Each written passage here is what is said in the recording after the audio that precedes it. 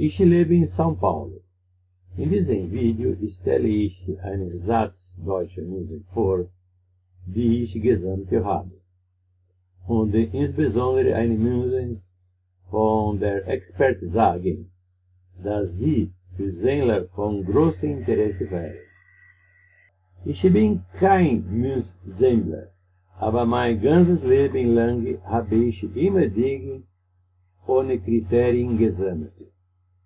Ich habe sie einfach ungeordnet in Kisten gesteckt, bis ich mich wieder für das Thema interessierte oder ich etwas Platz schaffen musste. Als ich für eine deutsche multinationale Konzern arbeitete, lebte ich in der 80 90 Jahren einige Zeit in Deutschland und besuchte andere Länder. Bei mir war es sehr üblich, Einkäufe mit 5, 10 oder 20 Mark Scheinen zu bezahlen und das Rückgeld in Münzen zu behalten, ohne es weiterzugeben. Kürzlich habe ich beim Aufräumen des Hauses des Kistes gefunden, in der ich die Münzen aufbewahrt habe. Zunächst habe ich meine Münzen nach Lande, Typ, Wert, Material und Prägejahr geordnet.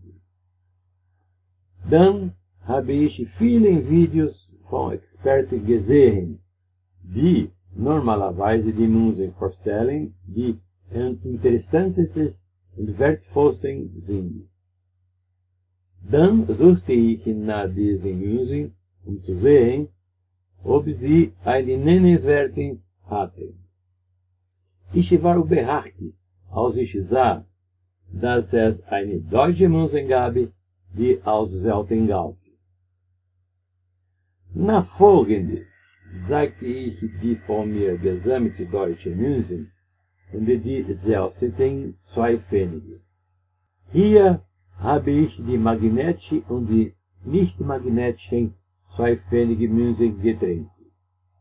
Da Experte berichtete, dass zwei Pfennige Münzen von 1986, wenn sie nicht magnetisch ist, eine seltene Münze ist. Ich war sehr überrascht, als ich herausfand, dass ich eines hatte. Da ich kein Sänger bin, habe ich kein Interesse daran, diese Münzen zu behalten.